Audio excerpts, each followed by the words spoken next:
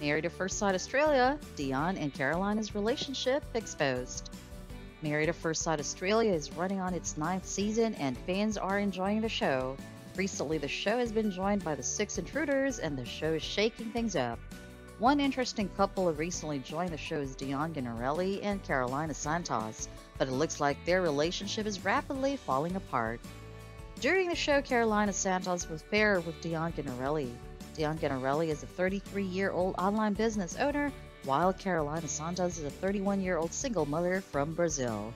The couple met and wed in Outland, South Carolina on the 14th episode of the show. However, things didn't start well for the couple.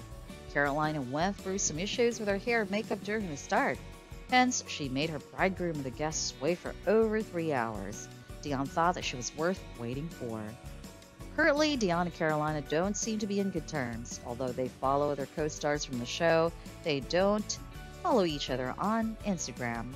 Moreover, Dion was seen coming along for the season's reunion. Hence, it looks like they are not together as of now, but we have to wait until the show's end for the confirmation. There are some hints that things between this pair were even worse while filming the show last year.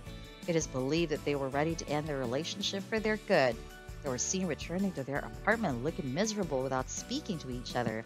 Dion didn't look affectionate to Carolina as he was walking ahead of her. It looked like they were completely ignoring each other. Other couples had smiley faces, but they were stony faced at the filming location. It is also believed that they were living separately off the camera. But Dion and Carolina had started well during the show. Although she made him wait for a long time, she had appreciated his patience as she was impressed with him. She was impressed with his blue eyes at first glance. Dion was impressed with her beauty.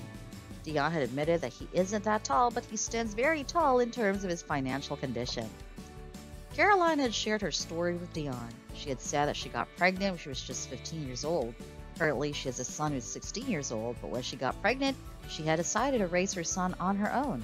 Dion was impressed with her struggle and said that she had done an amazing job raising her son on her own at such a young age. Dion had appreciated her for telling her story and told her that she should be proud of it. Currently, Caroline is working on her business and she's been living a very busy life. She's a social media influencer, she sells her product to her fans. It looks like she's living her best life as she shares many photos on her social media accounts, hanging out with her friends and family. Similarly, Dion also spends his time hanging out with his friends and family, but it isn't clear if he had returned to his old job as a property developer.